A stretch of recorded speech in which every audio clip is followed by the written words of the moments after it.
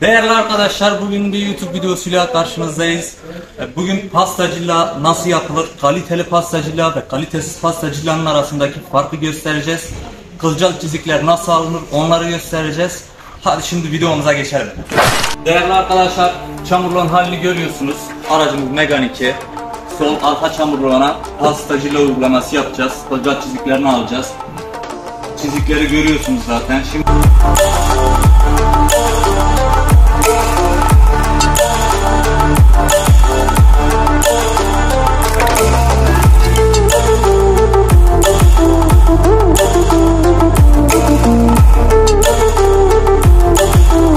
Değerli arkadaşlar, pasta cilamız çok kaliteli bir pasta cila.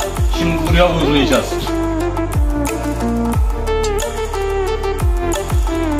Öncelikle arkadaşlar, pasta cilayı vuracağımız malzeme keçe olması lazım ki tüm çizikleri alabilsin. Şimdi uygulayalım görelim. Aradaki fark nasıl olacak?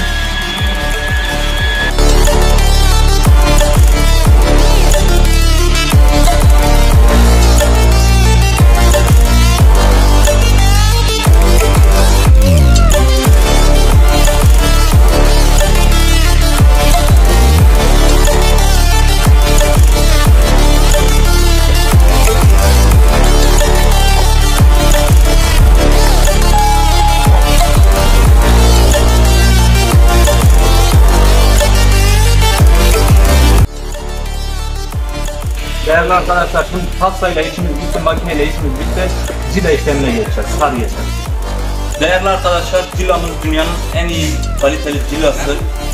Şimdi bunu uygulayacağız. Görüyorsunuz arkadaşlar nasıl bir kalitesi var. Özenle yapılmış bir şey zaten. Uyguluyoruz bu şekilde.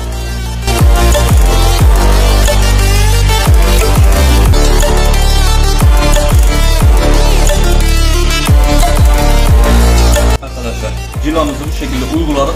Bir 10 dakika beklemesi lazım. Ondan sonra da sileceğiz bitiyor. Evet değerli arkadaşlar cilamızı kurduk. Üzerinden 10 dakika geçtikten sonra kurudu cilamız. Bir cila bezi yardımıyla sileceğiz. Ondan sonra da aradaki farkı göreceğiz hep beraber.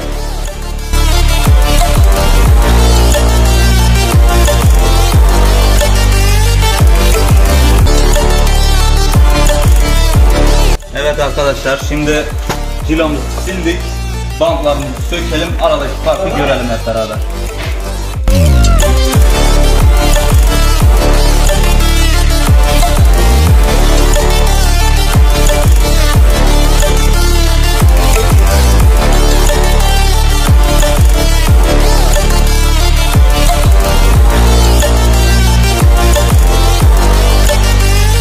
Evet değerli arkadaşlar videomuzun sonuna geldik. Böyle videoların, böyle içeriklerin gelmesini istiyorsanız kanalıma abone olup like atmayı unutmayınız.